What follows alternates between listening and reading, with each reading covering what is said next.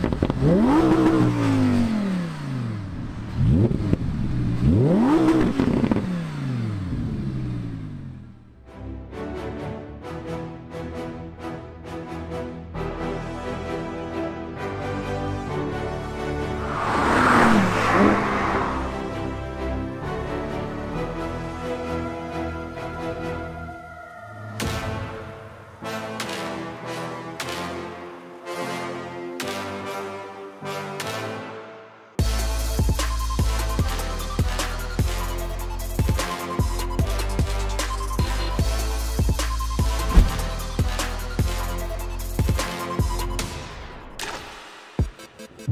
Laikas nuo laiko mane kamuoja tas pats nesibaigiantis košmaras. Jame neandertaliečiai vis kartoja. Audi yra hujova mašina, Audi yra hujova mašina, Audi yra hujova mašina. Tada atsibundu ir suvokiu, kad tai nėra košmaras. Tai realybė. Žmonės vis dar mano, jog Audi yra prastas automobilis. Bet ar tikrai?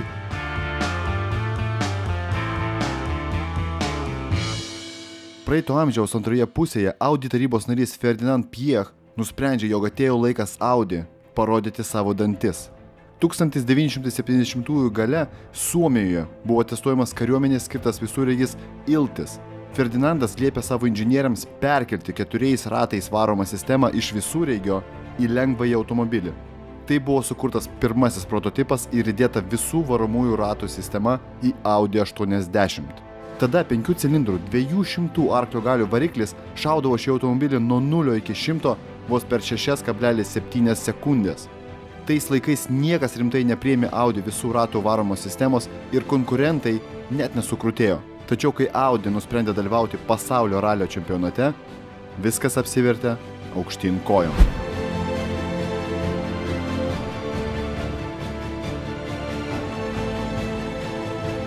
1981 metais Suomis laimėjo lenktynes net dėmesio 9 minučių atotrukiu. Esmė tame, jog tais laikais ralėje dalyvių automobilius varė tik tai du ratai ir atėjus Audi keturių ratų varomai sistemai, jų automobilį tiesiog tarsi prisiklyjuodavo prie kelio paviršiaus. To dėka įėjimas į posūkius vykdavo neregėtų prieš tai greičiu. Sirgaliams tai tiesiog nuraudavo stogą. Pasigrožėkit patys. –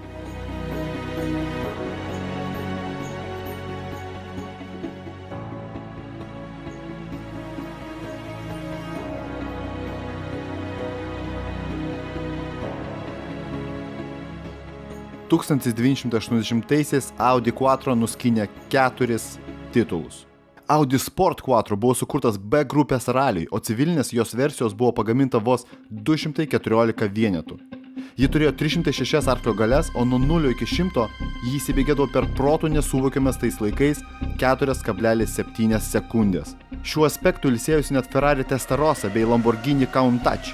Tačiau raliui skirta versija turėjo net 450 arklio galių, o sekančiais metais Audi padarė dar pavojingesnį bolidą - Sport 4 S1 - 550 arklio galių. Tik įsivaizduokit tokius skaičius 1980-aisiais. Neįtikėtina. Tų laikų geriausias lenktynininkas yra pasakęs, vairuodamas Audi 4 S1, aš mastau per nelyg lietai.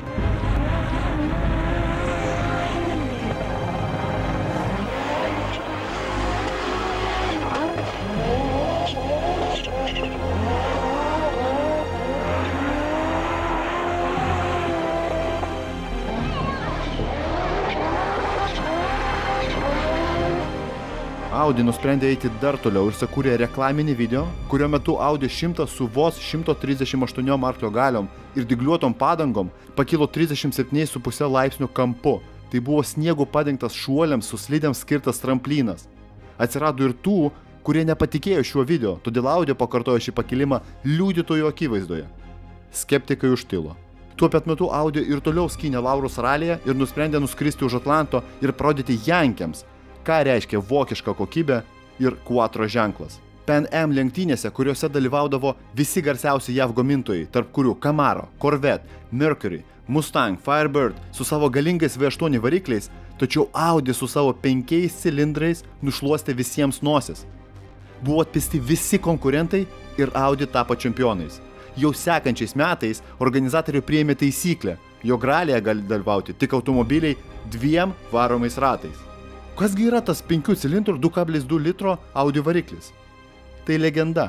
1988 pasaulyje išvydo legendinį Audi 204 turbo 220 arklio galių. Nuo 0 iki 100 vos per 7,5 sekundės.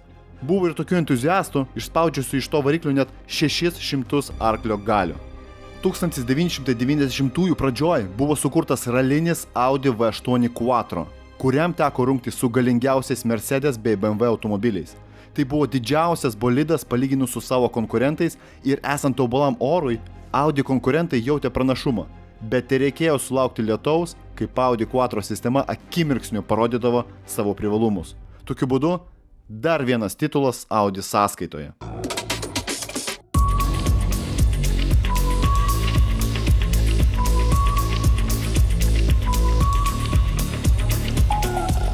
Po to sekė bendras su Porsche kūrinys Audi RS2 Avant. Pirmasis S8 ir galų gale pirmasis Audi superkaras Audi R8.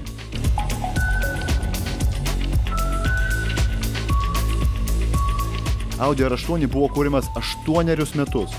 Procese dalyvavo tie patys vyrukai, kurie sukūrė Audi bolidą 24 valandų Le Mans lenktynėms, kur iš 14 lenktynių Audi laimėjo 12. 2006 metais Paryžiuje buvo pristatytas beveik dešimtmetį kurtas superkaras ir į jį įdėtas V8 420 arklio galių variklis sukėlė nemažai abejonių tarp apžvalgininkų. Nuo 0 iki 100 per 4,6 sekundės. Visi tikėjosi žymiai geresnio rezultato. Esmė tame, kad jau tada Volkswagen Audi grupė priklausė ir Lamborghini. Ir iš pat pradžių buvo planuojama, kad į R8 bus talpinamas 525 arklio galių V10 variklis tas pats variklis nuo Lamborghini Gallardo, bet kompanijoje pagalvojo, kad tai sukels pernelik didelę konkurenciją šiem automobiliams. Audi ilgai negalvojo ir visgi po kurio laiko ryžosi įdėti V10 variklį į savo superkarą. Situacija pasikeitė nuo 0 iki 100 per 3,9 sekundės. Štai ko visi laukia. Bet ir čia Audi buvo nelengva tarp savo konkurentų. Buvo pakeista greičių dėžė ir atsirado galimybė pasirinkti mechaninę pavarų dėžę. 2015 metais Audi išleidžia naują R8.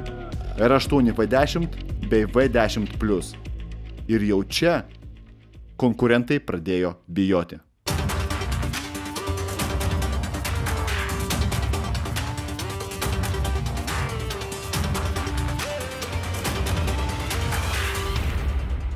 Ar girdit mane? Po galais. Neprotingi žmonės. Pagausiu, primušiu. Jūs man gadinat verslą su savo nenaudėlišku tinklapiu. Pagarbiai Perekupas. Kam ir už ką rašo tokius eilėraščius? Paklausite jūs. Mūsų partneriams, Car Vertical. Jų dėka kiekvienas gali pasitikrinti perkamą automobilį ir neįsigyti katies maiše. Nu, kaip pavyzdžiui, šis Priusas. 2016 metais rida buvo 215 tūkstančių, o po dviejų metų automobilis stebuklingai išgyjo ir rida sumažėjo, dėmesio, 10 kartų. 10! Arba štai šis nuostabus Chrysleris. Ką tik nuo tralo įimi ir važiuoji. Pala, pala, tu su tuo savo tralu. Užeinam į carvertical.lt, įvedam VIN numerį ir ką mes matom? Ogi tai, jog automobilis švelniai tariant buvo pabučiuotas. Carvertical.com remiasi blockchain technologija, o tai reiškia 100 procentinį patikimumą, nes šių duomenų neįmanoma ištrinti ar pakoreguoti. Prieš perkant automobilį bet kuriame pasaulio taške būtinai patikrinkite, ar jums nebando įprūdyti lavono. carvertical.lt – jūsų saugaus automobilio pirkimo gidas.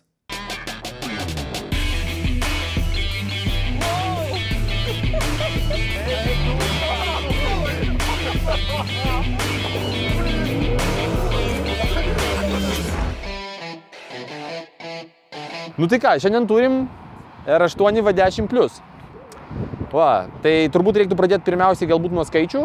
Iš jo, tikrųjų, nuo kainos, virš 200 tūkstančių eurų. Jo, kaina 210 kažkur, kaip šeimininkas sakė. Naujos kaina, jo, iš tikrųjų tai, nu, jau nėra pigus automobilis labai, iš tiesų. Va, nu ką, ką reiktų pasakyti, tai yra realiai, nu, tikras superkaras su varikliu išdėstytų vidury. Po kopotų reiktų tikriausiai sakyti, turim e, V10, tai yra Lamborghini variklis, e, tas pats, kuris naudojamas Huracane. Jo, prieš tai buvo R8 su kitu varikliu. Senesnis, ta prasme, jo buvo nuo Galardo variklis V10, o dar seniau pati pirmoji R8 turėjo RS4 variklį, kur buvo V842. Taip. Tai ten toks jisai buvo dviejo, nu toks, abejotinas superkaras, nes iš tikrųjų turėjau garbės kažkada dar, kai turėjau 92 M3 e, savo, pasimatuot nuo šviesoforo ir pakroviau malko R8. Su tuo 4-2 varikliu. Tarp kitko. Nu tai toks sakau, superkaras abejotinas. Nu, teisingą sprendimą padarė. Jo. Gerai, jo. davai apie variklį. V10 Lamborghini uh, Huracano variklis. 5-2, Taip. 610 arklių, 500 šiam Nm, redlinas apie 8,8. E, va, kas įdomu šitam variklyje, iš tikrųjų ir kaip pasiektas tas arklių skaičius, nes jeigu tai pažiūrėt prieš istoriją, tai mes esam kalbėję apie atmosferinio variklio ribą, tai yra spaudimo iš litro galingumo. Taip. Ką aš kažkada sakiau, kad yra maždaug apie 120 arklio galių iš litro, ar ne? E, po to mano šitą teoriją, nu ne teoriją, o sakykime šitų žodžių šiek tiek sugriovė Porsche'as, e, išleidęs GT3 RS, -ą, e, kuriame yra 4 litrai variklis ir e, 500 arklių. Tai deklaruoja Porsche'as, aš tiesą pasakius nežinau, ką jis rodo ant Dino, bet nu, imam skaičius, ką deklaruoja gamintojas, tai gaunasi 125 litrai iš e, Arklio litro. iš litro jo. Tai šiuo atveju yra ten nepilnai 118 arklio galių iš litro. E, Kadangi litražas visgi yra didesnis, sakykime, tai nu, vis tiek tai yra jau faktiškai riba spaudimo. E, Tai faktiškai pasiekta tai yra dviem būdais. Redlinas e, labai labai tolimas, jo kitas dalykas su spaudimo laipsnis. Su spaudimo laipsnis čia yra 12 su pusė, 1 prie 12 su pusė, tai yra nužiauriai aukštas, kad taip grubiai įsivaizduot skaičius, tai e, pas turbininės mašinas ten 1 prie 10 kažkur malasi. Pavyzdžiui, pas atmosferinės emkės, nu, pavyzdžiui, tą patį S65 variklį buvo 1 prie 12. Yra, nu, tai yra labai daug iš tikrųjų. Tai galima pilti tik tai ekstra gerą kūrą ir neišdikauti su 92. Pats kėbulas. Matau, karbono yra. Jo, čia, čia čia- šiaip pagrindinė struktūra tai yra aliuminis. Iš tikrųjų, karbonas čia daugiau tokie aerodinaminiai ir dekoratyviniai elementai. E, kadangi tai yra pl- mode- plius modelis, e, tai yra ratai, kuriuos jinai gauna standartai iš tikrųjų. Tai yra 20 ratai. E, priekinės padangos 245, galinės 305. Plus, ką standartė gauna, tai yra keraminiai stabdžiai. Taip. E, reiškia, keraminių stabdžių matmuo priekinių yra 380 mm skersmuo, galinių 356. A, Galia yra 4 cilindriukų suportas, priekiai 6 cilindriukų suportas, stabdžiai čia rimti. Klausyk, automobilio svoris pusantros tonos.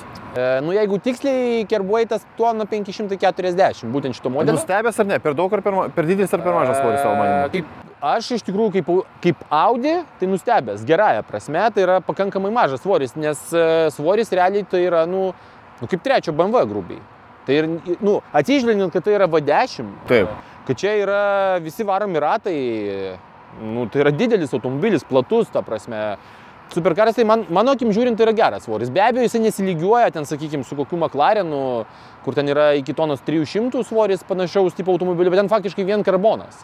E, bet ir kaina tada atitinkama jau viską. Mes vėlgi ką kalbėjom, kad ta prasme, nu, jeigu tu labai nori mažinti svorį, tu turi naudoti ultra brangias medžiagas ir tas labai augina kainą.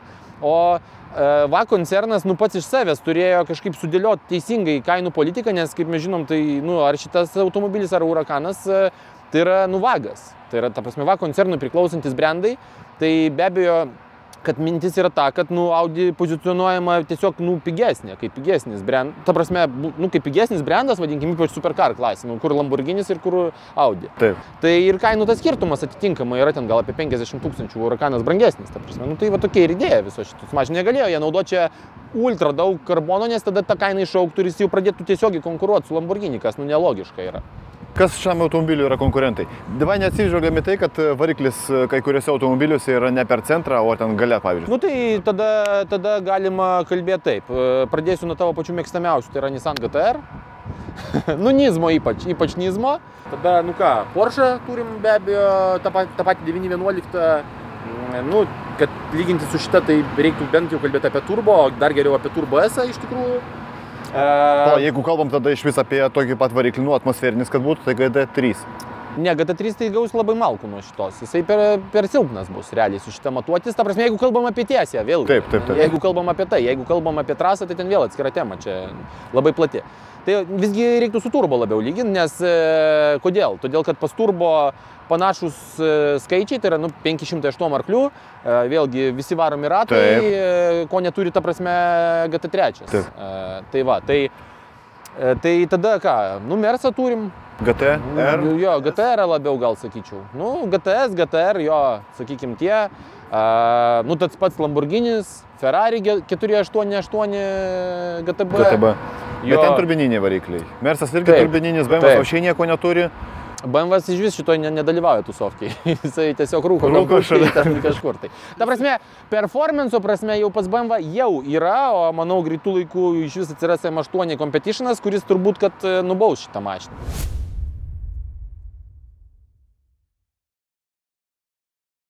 Prieinam prie to, kad automobilis yra paskutinis iš Mogikanų, daugiau jo nebegamina jau.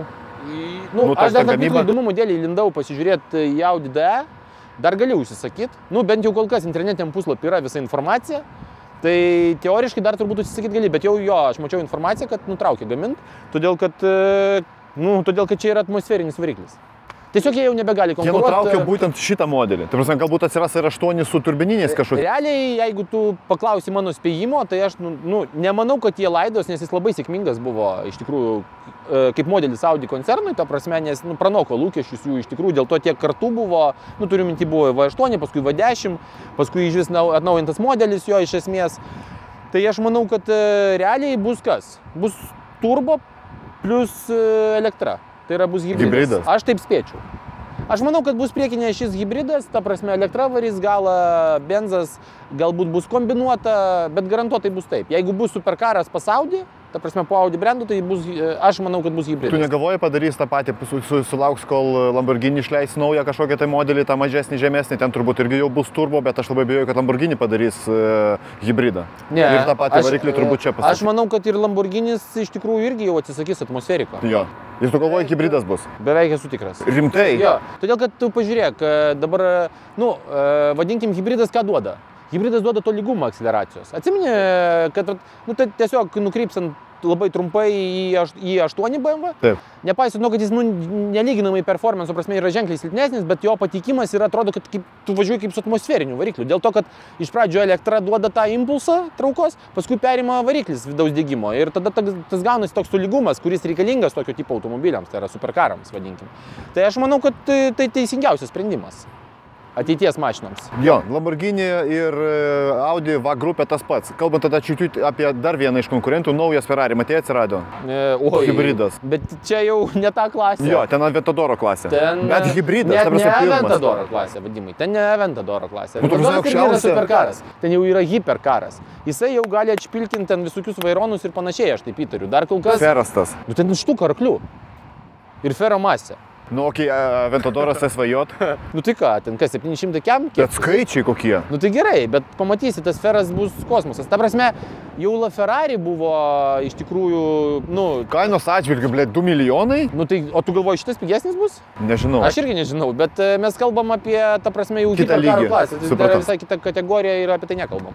Nu, Nes okay. čia yra, kaip ir sakiau, 488 GTB, viskas. Nu, e, gali su senesnė Italija lyginti, tai yra 458 Italija, ta prasme.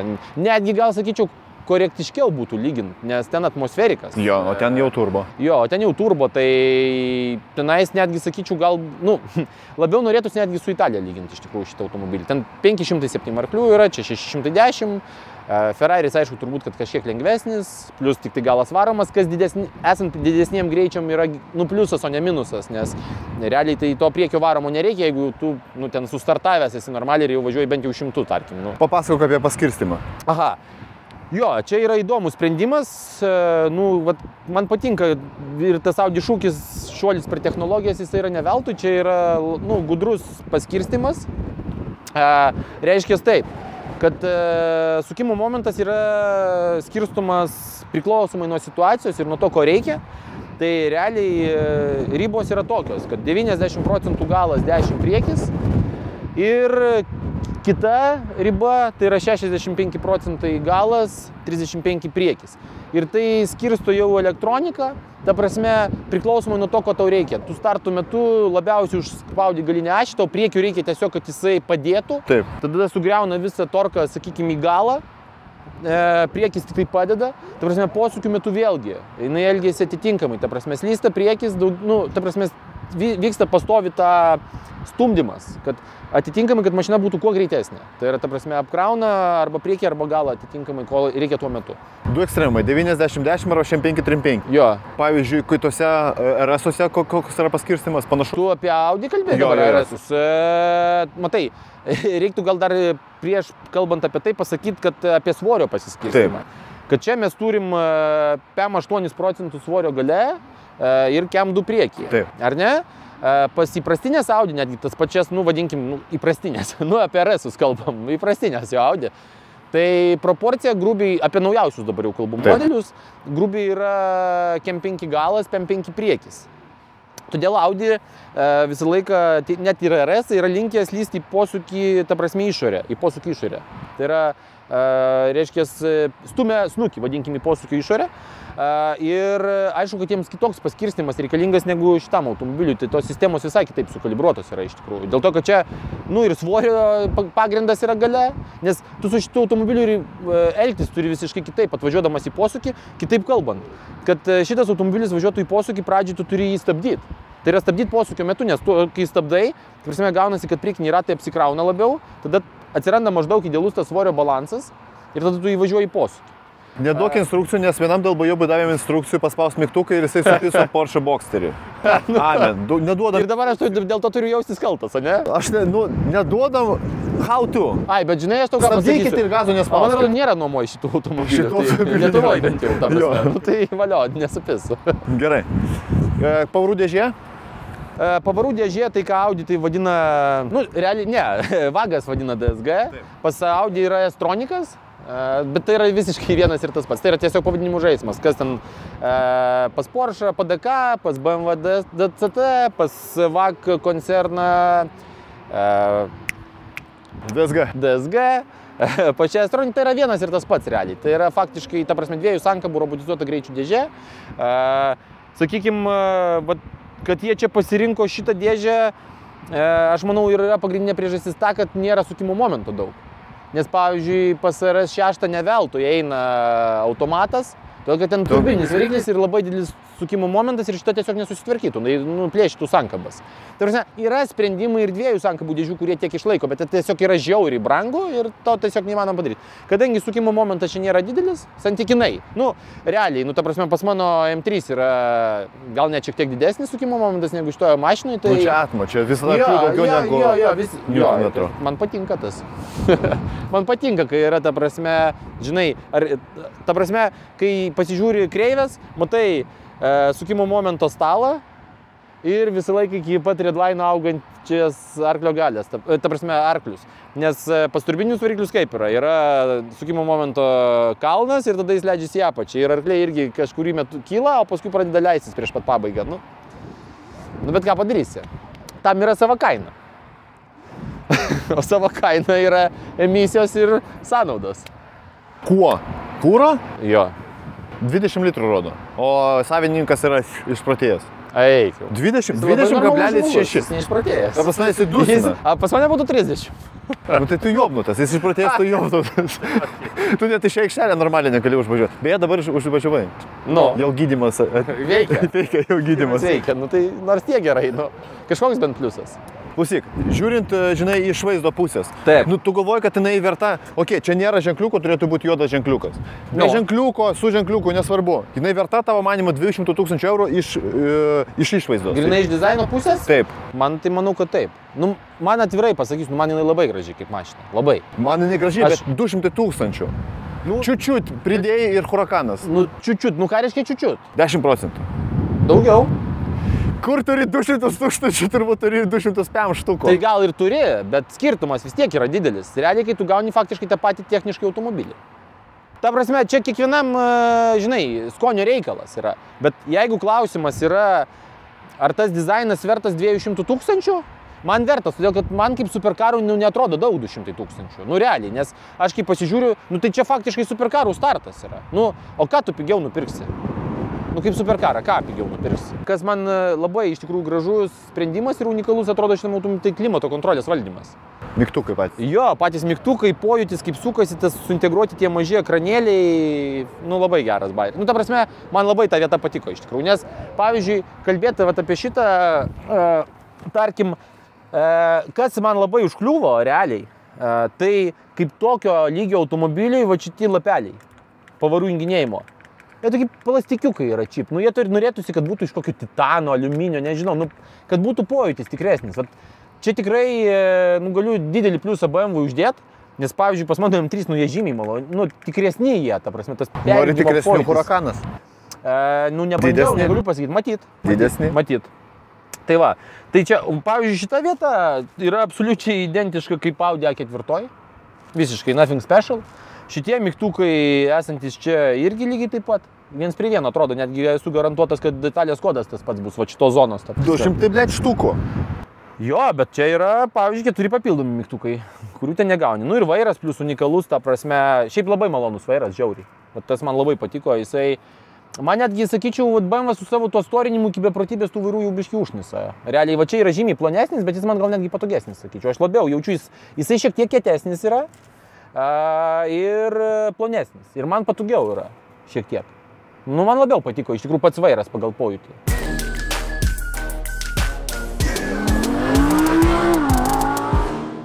Matai?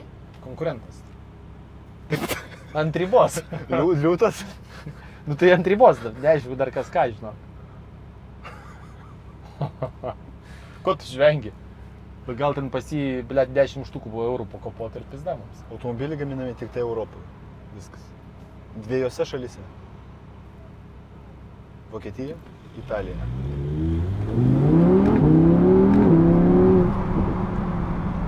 Kaip dėžė? A, nu, va, pabandymas starto.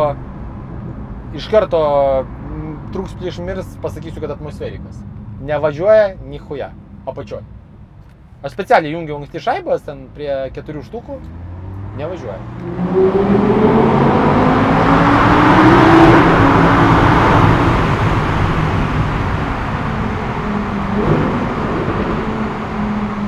Norėtųsi daugiau garso, ne?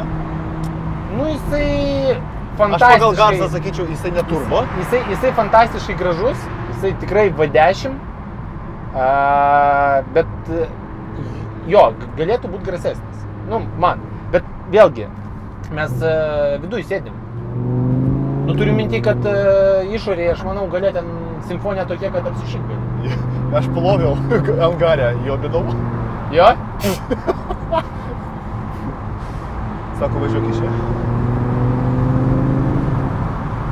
Bet šiaip, e, nu, vat, labai nedaug pavažiavau. Nu, nepaslaptis, kad pas mane na, garaže stovi ir Audi. Nu, šiek tiek, langą, prašau, garso. šiek, šiek tiek paprastesnė negu šita. Jo, e, nu, sakykime, naujausių modelio A4. vos, vos prastesnė. E, bet pojūčiai. Vat vairas, ne? Nu, aš negaliu suprasti, kodėl Audi net šitam superkarė savo, Net nu negali, dinamikė. blėt, dinamikė negali padaryti sunkesnio vairo. Nu, jok, tvai man, nu jis per lengvas. Nu, aš, tarsi, važiuoju, heras net kokiu greičiu posūkyje. Ir man atrodo toks, nu, tipo, a, nu, nu, va. Nu, tipo, apie nieką. Mes šiandien uždaroje trasoje važiavom 26. Nu, Tipo, nu, okei, okay, 26. ta prasme, pastatė rekordą kačerginės. Jo, jo. Молодец. Bet, ta prasme, o. Respekt. okei. Laikai, blėt, matau. Tu, ta prasme, aišku, nufilmavai tą. Tai įdėjau, nusinčiau. A, jo? Jo, jo. Pidometras, po to netgi jeigu taip įjungsi, nėra makso, nerodo kiek. Nes paskaičiavom 330, bet reikia skaičiuoti. A, taigi, pal... A, jo, nėra viewo tipo Nu, normalaus speedo? Ne. Arba apsukos, arba du mažiukai, bet vis vien nėra to. Hop. Ok. Nu, čia vat kitaip negu pas paprastą Audi. Aišku, kad e, e, šitą pas e, RS irgi toks pats išpildymas, kai tu pasidarai tachą per visą, e, per centrą prietaisų skydelio, ta prasme, ir centre tik tai spidometras, e, nu, ta prasme, elektro, vadinkim, bėgantys skaičiukai. 5 iš 5 Kas? šuliniai. Apvažiavau visus. Nu, realiai, Prim, visus. prim.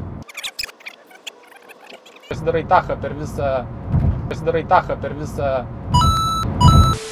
A, nu tu kaip slalome galvoju, reikia prisiliesti prie vėliavėlės, tada tipo skaičiuosi taškai. tai aišku, Ai, kad taip. supratau. Aš ne taip Bet pažiūrėk, aš, aš juos, ta prasme, aš jų nekabinu, realiai. Aš ne taip taisyklės suprantu, gerai. Nes supranti, jeigu tu padangos kantą leidi išorę, nu arba, vidu, ta prasme, ne vidum, tai gaunasi, kad tu vis tiek dalis ratlankio, ta prasme, rato pravažiuoja tai oru, vadinkim, kur šulinys įgilintas, tu vis tiek neįkrenti į duobę. Tai aš tokiu principu, nes jeigu tu, va tai va, blecha važiuosi visą laiką, tai, nu, šiaip gali keistai iš išorės atrodyti. Ilga mašina ir taip keistai iš išorės atrodai. Raudonas. nu, ir ką. Žmogų, savininko minusas. Sako, norėtųsi mažiau dėmesio. Jo, Visi nori lenktyniauti arba visi fotkina ir žiūri. dabar bišinė kalba. Dabar kalba simfoninis orkestras iš dešimties žmonių.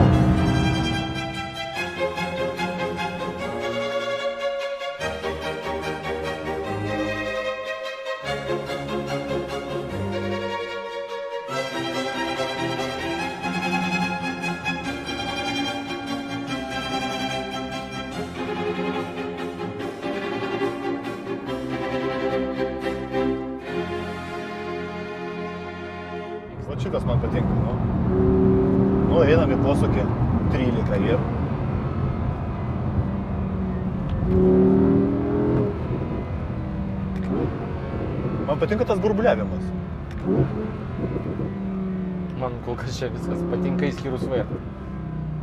Ta prasme, ne patį vairą, o vairo pojūtį. Atsimeni, e, kalbėjom ir RS tą patį. Taip. Nu, tu prasme, blemba, jis per lengvas. Nu, kodėl jie negali jo sunkesnių šiek tiek padaryti? Jie daro Ar, automobilį ar čia yra, ar, blemba, ar visgi aš gal tiesiog pripratęs prie emkių ir ta prasme, Jo, man tai po jų automobilis atrodo. kitam žmogui. Kaip stabdžiai? Sakyt ar užtenka reakcijos? Net, prasme, kol kas čia viskas fantastika yra. Prasme, e, bet e, žinai kas keista? Aš e, atvirai pasakysiu, kad aš bandęs du kartus e, karo, karbono keramiką, kalbant apie stabdžių sistemą. Tai yra, nu, antrą kartą tai čia bandau, o Taip. pirmą kartą Salerė bandžiau. Taip. Viskas. E, tai, ta prasme, va tada, žinai, va, tau labai geras e, paaiškinimas bus. Nu, kai Hebra sako, wow, ten sena legenda, ten ahuiena, gaidys. Ten. Ir pasakysiu kodėl. Tai prasme, tu gali turėti tą patį efektyvumą su normaliu stabdžio paspaudimu. O ne tik kai ten, ble, pusė įgos spaudė, nei hera nevyksta. Čia kita klasė automobilių. Tad, kut ne, čia yra superkaras. Ten brutalus. Nu, ką reiškia brutalus? Tai ne kasdienis automobilis. Ne taip yra. O čia kasdienis automobilis. Ne taip Bičias yra. važinėja kasdien su šito automobiliu. Tai aš, ir aš suprantu, kodėl, aš irgi taip daryčiau. A, ta prasme, nu čia kaifas yra, nu, ta prasme. Ten reikia jį bošinti pedalą. Aš... su- Ir ten vairas sunkus. Ten, ten reikia įbošinti pedalą. Stabdant, ble, ten cypia viskas. Nu, gal ten konkretus atvejis buvo, ta prasme, aš nelinkęs nurašyti iš karto, nu, viso modelio dėl vieno atvejo, nes, nu, visko būna. Bet, Sura, surasiu aš tau lampą pavairuosiu. bet, bet e, ką aš noriu pasakyti? Ta prasme, aš gyvenime nepasakyčiau, vat, pagal pojūčius, kad čia kažkas yra neįprasto sustabdžių sistema. Aš lygiai taip pat juos gerai jaučiu, kaip jaučiu, ta prasme, pas save mašinai, kur paprasti plieniniai stabdžiai. Ir e, absoliučiai, nu, man jie nu, nieko netrodo special apšė. Nei garso kažkokio yra, nei spaustin stipriai reikia, nei, nei jiems prisidirbti reikėjo duoti. Ta prasme, važiavam, važiavam, aš taiga stabdau gana ekstremaliai. Jis puikiausiai stoja, ta prasme, nu, jokių klausimų nėra. Tai yra, ta prasme, aфиgiena stabdžių sistema, kol kas nepastebėjau absoliučiai jokio ten, blėt, reikia ten sušildyti, trasui, tik tada jie efektyvūs. Fak, nieko čia daryti nereikia. Nu, ta prasme, visai kiti įspūdžiai, nei kad teorija, kurią ten milijonus kartų esu girdėjęs. Nu, gal jie kitaip jaučia, gal trasos lygių Ne tai, kitaip jaučia. ne tai visi aiškina, ta prasme, ką žiūrės esu. Gatvėje gaidys, trasui gerai. Nu, nes tipo jie neperkaista, vadinkim. Nu, arba ta riba yra nu, ant tiek toli, kad jų nesugeba ten perkaitinti, sakykim, ar ne, ypač ten, nu, ne, ne lenktynininkai, ten profai. Bet uh, nieko panašaus aš nejaučiu. Nu visiškai, tai normalų stabdžiai. Kol kas pagal pojūčius, blėt, nu nežinau, Audi A6 su sukėtinta pakaba. O tas keliukas, kur tu nori, tai čia Vokietijos e, šiaurė? Toks Jo, Šiaur, šiaurės kilpa. nu, jo, panašiai. Nu, šalia ten trasos. O tai tu sakai laiko turim? Turim, turim. Nu tai ką? 9 valandą turim būti Po savaitės. Vartuose. Nu, Nu tai, su Interpolo paieška galim po savaitės būtų. Sušaudyti kur nors. blėt, aš negaliu. Važiuoji ant karočią 70, jungi antrą šaibą ir pas ją dar tik pusę tacho.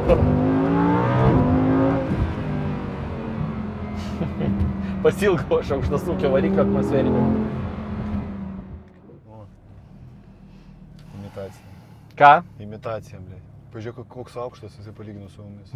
Man atrodo, kažkas to iš jos išlips ir ateis čia tik atvietas. Nėra vietos.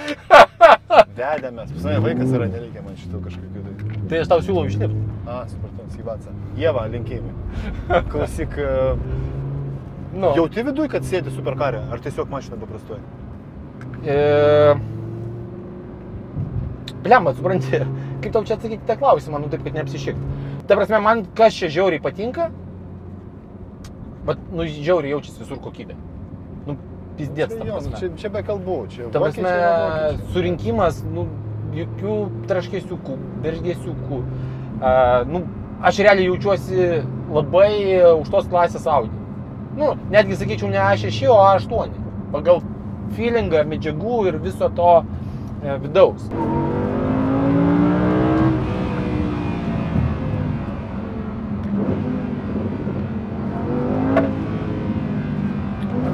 Bulėtų.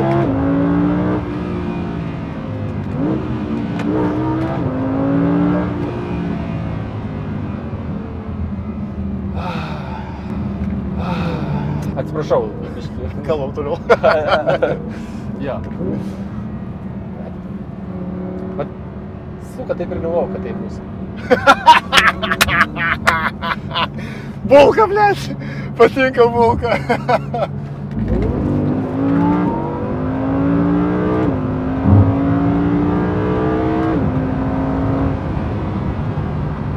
Nu, kaip čia galima nemylėti? Jeigu ne tas garsas V10, kur, nu, pohu, kad jisai santykinai nėra labai triukšmingas viduj, turėsime išdurtom akim e, iš karto pasakyčiau, kad V10. Iš karto.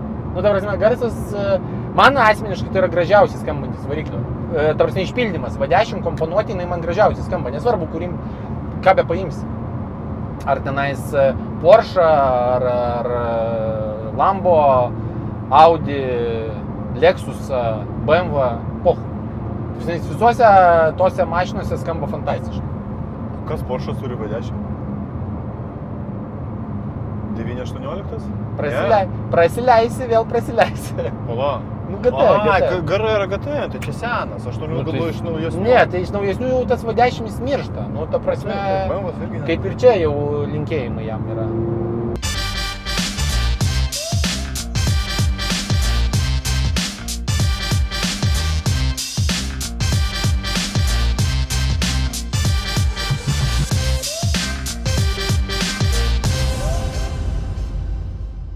Antras audio, kur neturim ką kalbėti. Ta prasme, Nu, supranti, kas e, keista? E, Nu, dėl ko pradedu stebėtis? Mm, Kad e, gal čia tikslas toksai? Ta prasme, kad aš manau, kad tikslas. kad, kad, kad e, aš, aš realiai pagal pojūčius nesijaučiu važiuodamas superkarę. Nu, nesijaučiu. Nesijauti. Tai prasme, sėdėsena, variklis gale, garsas fantastiškas, akceleracija, taip, jokių bazarų, ta prasme, superkaras. Bet, tu prasme, jis antiek yra, nu, pritaikytas, vadinkim, kasdieniam važiavimui, kad tai, nu, tai yra tikrai mašina, su kuria aš vapšė be jokių parkių važinėčiau kasdieną. Vapšė be parkių. Nu, okei, okay, gal dėl e, bagažinės, vadinkim, nebuvimo faktiškai, bet, nu, iš kitos pusės man tai pohui, nes aš nelabai ką ir vežiojuosi. Bet, nu, Dragis telpa. jo, dragės telpo to faktiškai užtenka. Tai Va. jo, pradeda valinti. Jo. Bet tik tai skaičiai didėja.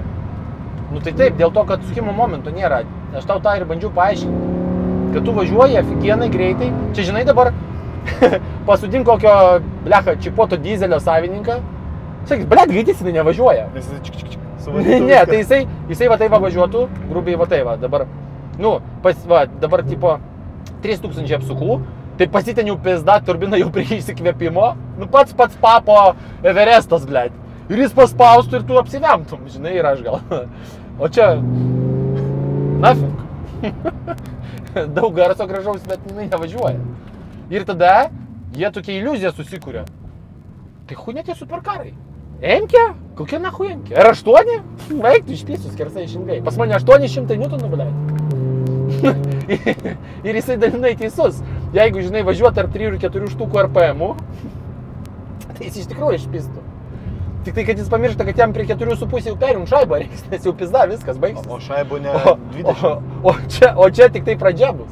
Jis tik pradės kačigarint. Ir dar kačigarins iki beveik 9 štukų RPM. Va, kur yra visas pointas. Ir, nu, ta prasme.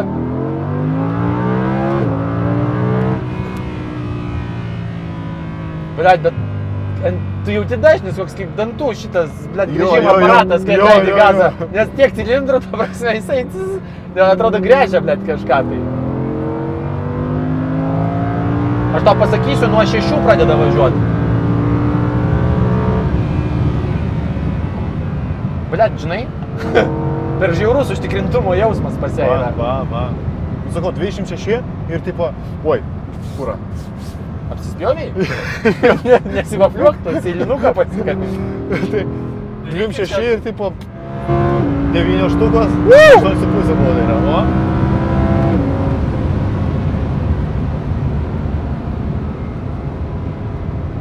Bet aš noriu atmosferiko. Bet žiauriai galinga. Tarsi, atmosferikas teikia kaifą tada, kada jis yra žiauriai galingas. Ir labai aukštas ūkis. Blet, čia net šaibos nereikia jungti. Važiuoja, blet, ir važiuoja, ir važiuoja, blet, ir važiuoja. Dar važiuoja. Ir dar, Dar, dar, dar! važiuoja. Raudonai mirksti. Pizdėt, skaročią. Pizdėt,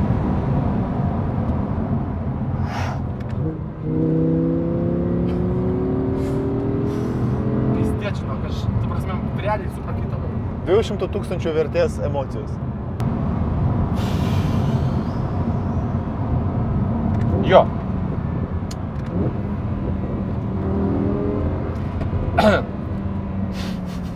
Bet jau pasakyt. Davai. Let BMS neturi nieko, ką galėtų prieš pastatyti šitai mašinai. Neturi, realiai. Nu, tą reikia pripažinti. Bet, nu, iš kitos pusės jie ir nedeklaruoja, kad turi. Tai čia, nu, toks žinai, Nu, emocijų prasme, čia man krūčiau yra negu RS. -as. Septintas, kurį mes testavom, kad iš štukos arklių. Ta prasme, taip ta greitesnė. Vienareikšmiškai. Ypač ten, ta prasme, sūkio apačioje, tai ten iš vis pizda yra visiškai. Ta prasme, nelyginamos mašinos, bet atsimeni, ką sakiau, emocija nėra tiesiai susijusi su skaičiais. Man. Ta prasme, yra žmonių, kurie bukai kaifuoja nuo performance'o tiesiojoje. Nu, aš kaifuoju. Nu, va tu jo. Bet tu toks, nu, ne visai. Bet aš kaifuoju nuo dar baimės. Aš kaifuoju nuo tavo, nes ten yra baimė.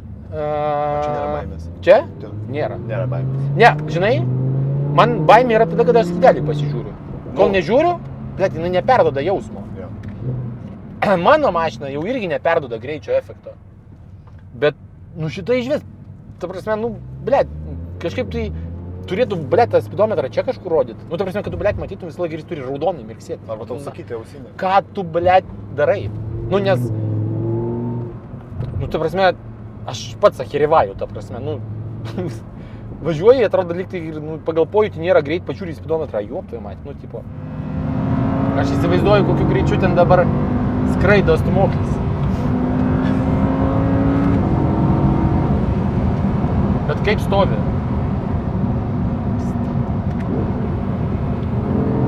Važiavę šitų kelių? Ne. Tu dėl to, kad tu Vokietijoje šiaip turbūt mažai buvęs. Nu, buvęs aš e, niekada šiaurėje taip smarkiai nebuvau. Gamta kaip Lietuvoje. Panašiai? A? Panašu, tik tai gražiau, ne? Ar ne? Lietuvoje gražiau. Jo? Čia yra vienas kalniukas prie Nürburgringo šitos trasos, kur pakyla mašina nuo žemės. Ir mes jį tuoj pasieksim.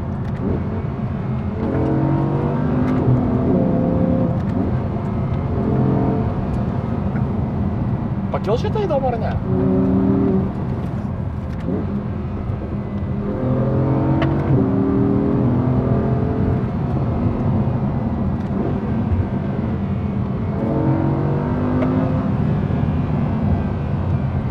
Gražus kelias, ne? Čia ne tas.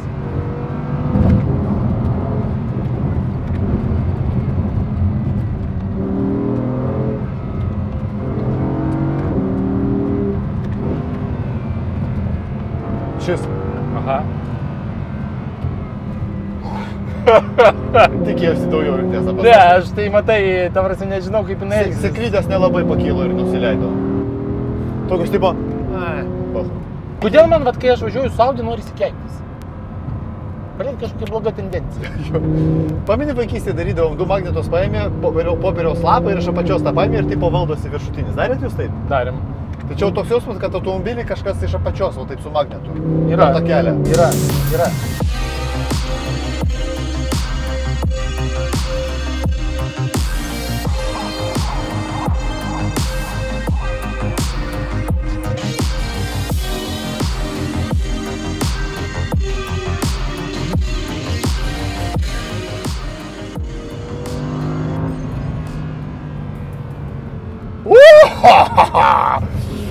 Šitas geras buvo.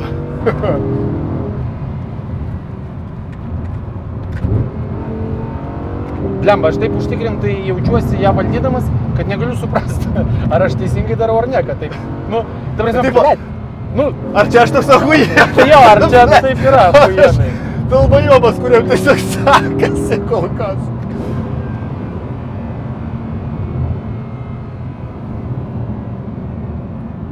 Nu, karočią, Audi. gerai.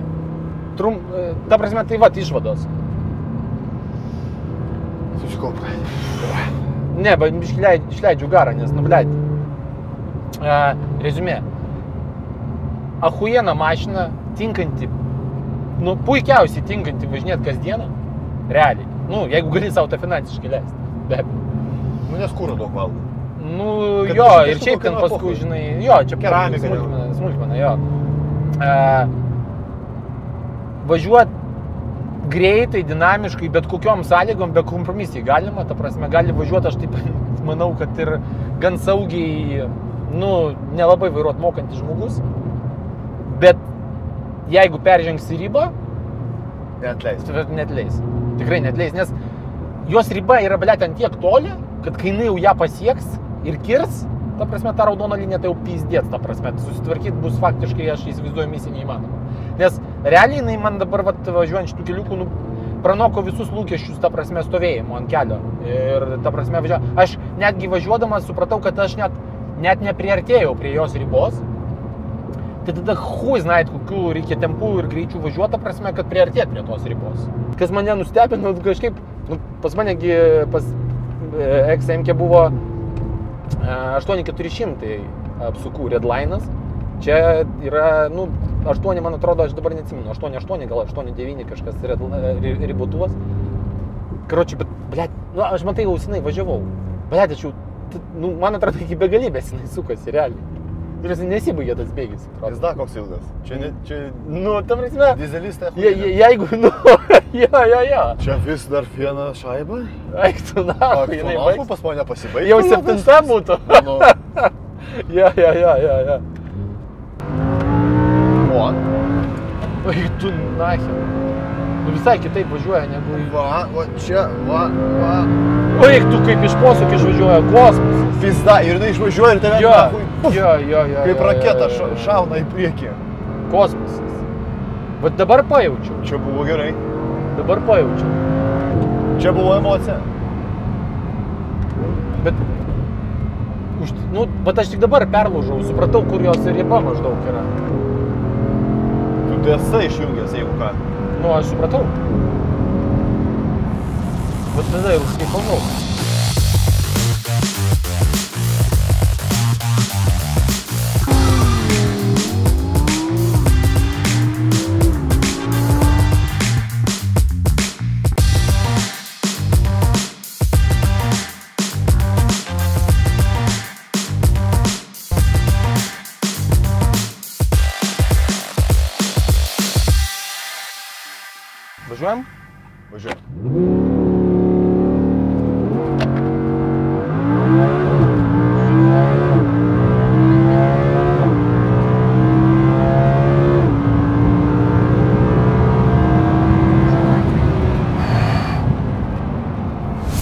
Mes dar niekada to nesam darę. Šį kartą įrašinėjom uh, tokį, pasakykim, finalą jau po. Praėjo trys dienos po mūsų važinėjimų šito automobiliu, nes e, kiekvieną kartą, kai tu įsėdi, tu kaifuoji, tu nesupranti, o kaip gerai. Ir po to keletą kartų buvo po to su Nirkai sėdami jo M3 ir sako, ne, blėt, ir mano valina, ir tas ne- neblogai, su M2 panašiai buvo, sako, atrodo M2 viskas faina, bet tie M3 atsisėdo, pradėjo dusinti, pradėjo šiknas lys, sako, e, geriau. Tai klausyk, Nerka, trys dienos praėjo, davai, įspūdžiai nuslūgo šiek tiek visos emocijos. Kas dabar tavo mintise, kas tavo galvoje dabar? Mano galvoj mintis tokios, kad aš atsidariau mobilę vakar ir žiūrėjau, kiek kainuoja tokios mašinos. Ne, realiai, jeigu rimtai išnekant, iš tikrųjų tai man labai patiko, bet negaliu, sakykim taip, pasakyti, kad, nu, tobulą, kad negali būti geriau, geriau gali būti. Ir, sakykim, tikrai, e, ką, net, nu, taip tupai, nu ką, aš galiu lyginti su savo mašina, ar ne, Vat ypač praėjus trijų dienų tarpui. Kas yra geriau pas mane, tai yra tikrai geriau pasvertas vairas. Bet vairas e, yra šiek tiek per lengvas. Ta prasme, jisai šiek tiek apgaulingai tave nuteikia ir jeigu tu važiuoji ant ribos, ta prasme, tu neturi to tikro tokio pojūčio. Tau atrodo, kad e, nu, kompiuterinį žaidimą žaistum. Ir tas mano nuomonė sukelia tokį kaip ir rizikos Tu faktorių. turi nes- čiučiu, per nelik lengvai gali pasukti ir aukštam, aukšto greičio Jis, metu. jisai turi minti, kad ne, ne, visai, ne visai taip, e, ta prasme, jisai per mažai perduoda informacijos, ant kiek tu važiuoji stipriai jau ant ribos. Ta prasme, jisai tave tarsi nuo realybės nukelia į kompiuterinį žaidimą ir gaunasi, kad nu, vat, tu ne, tarsi nebijai. Ta prasme, tai yra kaip ir nu, savitas minusas, nes tu tada nejauti ribos. Ir kai tu nejauti ribos, tu gali padaryti nu, žiaurų krešą, ypač su tokiu performance automobiliu. Nu ką toliau reiktų pasakyti? E, Žiauriai paliko įspūdį važiavimas komfort režime.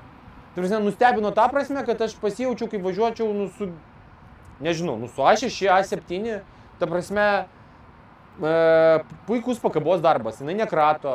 Nu, tai yra super civilizuotas automobilis, su juo drąsiai galima minti, nežinau, į Europą, į, į, į nu, nekalbu jau apie mūsų pajūrį, ta prasme, jis visiškai nevargins. Puikios sėdinės, e, irgi labai patiko. Realiai, greičių dėžės veikimas, e, nu, kaip pasakyti, nei jisai geriau veikia negu pas BMW, nei blogiau, jisai tiesiog tobulas yra. Veikia taip, kaip veikimas. veikt. Tai jisai veikia taip, kaip turi veikti, būtent, jo. Tada, kas labai nustebino, nes nebuvau normaliai testavęs iš tikrųjų prieš tai karboninių stabdžių, tai yra karbono keramikos, mane, nu, aš buvau susidaręs įspūdį, kad reiškia bus kaip, kad važiuosim ant šaltų, cips, e, ten blogai stabdys, ta prasme, bus netikras pojūtis kažkoksai negerai. O gavosi taip, kad kol mes važiavom, jie nebuvo užkaitę, ta prasme, tai veikia tiesiog labai gerai. Tai yra kaip bet kuriam kitam geram sportiniam automobiliai, kur yra plininiai stabdžiai turiu minti, aš nepajaučiau skirtumo. Ir, nu, tada pradėjau stebėtis, bet kai mes juos užkaitinom, tai, nu, tai jie tobulai veikti iš vis pradėjo. Nu, ta prasme, tai kitaip kalbant, šitie stabdžiai veikia taip. Arba labai gerai, arba tobulai. Nu, toks įspūdis, ta prasme. Nu, kas paliko didžiausią turbūt įspūdį, tai vadešim simfonija. Ta prasme, ir tas nesibaigiantis uh, sukimasis iki tų beveik 9000 apsukų, atrodo niekada nesibaigs, ta prasme, ir atrodo, kad nu, norisi, kad nesibaigtų tos, e, ta prasme, sukimas. Tai tas man nužiauriai patiko iš tikrųjų, aš jau pasilgęs esu atmosferinių galingo variklio. E, tai man tas labai patiko iš tiesų. Dabar charakteris važiuojant į posūkius, vat atmetus, sakykime, vairą, vairo tą pojūtį, sakykime, man labai patiko, todėl kad jisai yra kitoks negu važiuojant su įprastu automobiliu, tu šiek tiek kitaip elgiesi, atvažiuodamas ant ribos tu e, vėliau šiek tiek stabdaisi, tada labiau apkraunami priekiniai ratai ir jinai būtent tuo metu, kai apkrauni priekinius ratus, jinai tada žymiai geriau suka į posūkį, negu kad kai jinai yra paleista, tiesiog, e, nu, sakykime, rėdėt neapkrovus, vadinkim, tai yra tiesiog sukant, kas yra šiek tiek kitaip negu pas kitus paprastus automobilius. vėlgi išvažiuojant iš posūkio labai dviejopas elgesys, nes tuo metu, kai tu nukeldinėjai jau prieš pradėdamas akseleruotis koją nuo stabdžių ant gazo, gaunasi, kad iš pradžių tarsi gaunasi jau, ta prasme, understyras, tai yra vėlgi tuo metu, kai atleidi stabdį, jinai vėl tarsi pradeda slysti į posūkį išorį, tada spaudi gazą ir tada atsiranda tas toks pojūtis, matyt, tada permetamas sukimo momentas labiau, tas maksimumas, tai yra 3-5 procentai į priekį, aš taip įsivaizduoju, jinai pradeda tempt snukį ten, kur tu nori.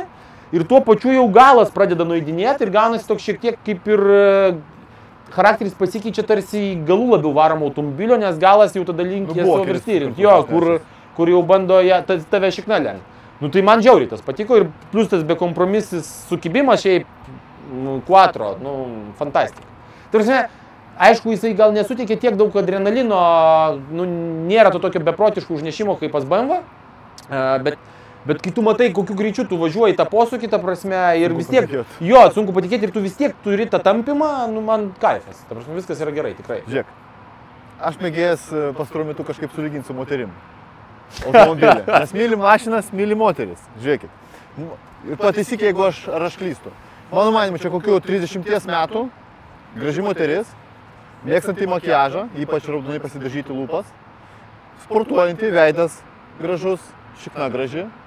Jis yra super ištikima ir daug tau atleidžia, bet jeigu kada nors tu ją užpisi, jinai tave nužudys.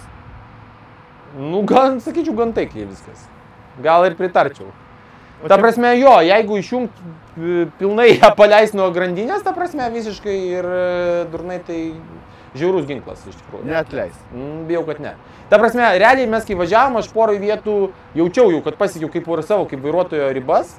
E, ir tos ribos, aš kaip supratau, nu yra taip toli, kad jeigu tu jas peržengsi, tai jau kelio atgal gali ir nebūti iš tikrųjų.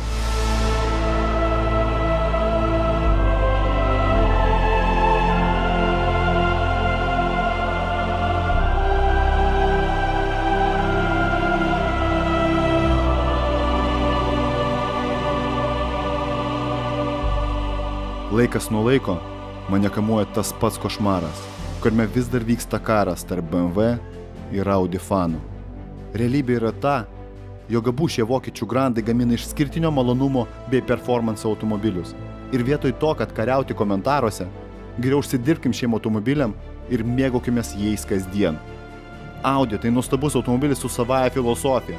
Audi Quattro tai legenda, kaip ir Audi R8. Legenda, kuri dėja miršta. Audi nutraukė R8 modelių gamybą. Atmosferiniams varikliams atėjo galas ir tai yra evoliucijos dalis. Turbininiai varikliai ima viršų galingumo prasme, o euro standartai pastaruoju metu suveržė kilpą iki maksimumo. Mums buvo smagu prisiliesti prie istorijos. R8 - nuostabus automobilis. Super automobilis. Paskutinis iš Mohikanų.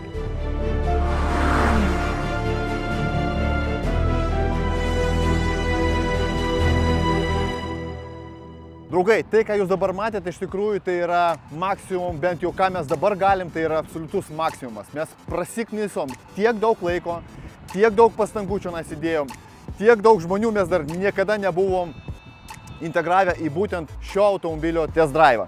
Klausykit, jūsų patogumui mes padarėm štai kokį vieną dalyką įdomų. Jeigu jūs pasižiūrėsite video aprašymą, yra nuoroda. Mūsų fotografas Mantas Bušnys, čia va, tai yra jo Instagramas, būtinai užeikit ir e, pafolvinkit jį Instagram'e, nes jisai atlieka iš tikrųjų neįtikėtinus darbus. Jisai padarė jums, žinot ką, jisai padarė jums wallpaperių. Jisai jums padarė wallpaperių tiek kompiuteriui, tiek jūsų telefonui. Drąsiai naudokit, automobilis išskirtinis, neįtikėtinas, labai gražiai atrodo ir ypač smagu naudoti šitos wallpaperius tada, kada mes žinom, kad automobilis priklauso lietuviui, kada lietuvis fotografavo ir mums tai yra labai labai svarbu jums tai iš tikrųjų ir atiduoti. Klausykit, konkursas. E, Visai neseniai mes pradėjome bendradarbiauti su Pramaksa, mes atnaujinom savo įrangą ir mes atsinaujinom GoPro, mes dabar filmuojam su GoPro Hero 7. Ir žinot ką, va čia GoPro Hero 5 jau senukai iš tikrųjų, aš labai norėčiau padovanoti vienam iš jūsų. Žinot, kodėl šita kamera yra legendinė? Todėl, kad visi prieš tai buvę test drive'ai buvo filmuojami būtent su šita kamera. Tai jūs galite iš tikrųjų prisiliesti prie pačios istorijos. Ką reikia padaryti, kad laimėti šią kamerą? Iš tikrųjų nieko ypatingo. Reikia būtinai uždėti nykštį į viršų šitam video, būtinai parašyti įdomų komentarą, prenumeruoti kanalą, jeigu po galais to nepadarėt. Neįsivaizduoju, kodėl jūs to ne, dar nepadarėt. Ir būtinai pasidalinti šito video su savo draugais. Viskas. Sekančiame test drive, kada mes, mes darysim automobilio apžvalgą, mes išrinsim nugalėtoją ir vienam iš jūsų padovanosim, jeigu aš dabar jį bemėtydamas nesidaužysiu, šitą GoPro Hero 5. Klausykit, draugai, nu ir paskutinis prašymas jums. Kaip matot, mes testuojam automobilius, kurių neimam iš dilerių, mes imam šitos automobilius iš savininkų, iš draugų, iš pažįstamų, iš nepažįstamų žmonių. Nemažai iš jūsų patys rašot, kad štai tokį automobilį turiu, galbūt norėtumėt e, protestuoti. Mūsų vienintelė sąlyga yra ta, kad mes sakysim savo išskirtinę nuomonę. Ta prasme, jinai nepriklausys nuo jūsų. Jūsų negali pasakyti, kad nebark šito automobilį, arba tik tai girk šito automobilį, arba nepasakok apie tai, arba nepasakok apie tai, arba būtent pabrėžkit šitą ar kitą. Mes nenorim imti automobilių iš dilerių ir daryti priklausomas po galais automobilio apžvalgas. Būtent todėl mes sukūrėm Patreon platformą. Jeigu jums patinka mūsų test drive, jeigu jums patinka tai, ką mes darom, mes darom tai keliom kamerom, su fotografu, su drono pilotu, su operatoriumi, su montuotoju, visą dieną filmuojam, duodam jums wallpaperių, duodam jums tokios ekskluzyvinės medžiagos, kurios jūs YouTube platybėse Lietuvoje niekur nerasite. Ir jeigu jums tai visą tai labai patinka ir jūs norite, kad mes tą tęstumėm ir toliau, Prašau, Patreonas yra sukurtas būtent tam, kad jūs galėtumėte įvertinti mūsų darbą. Neprašau nei euro, nei penkių, nei dešimties, prašau tik tai tiek, kiek jūsų manimų yra vertas mūsų darbas. Draugai, Patreonas yra video aprašyme, o mes su jumis susitiksim jau sekančiam test drive. Iki.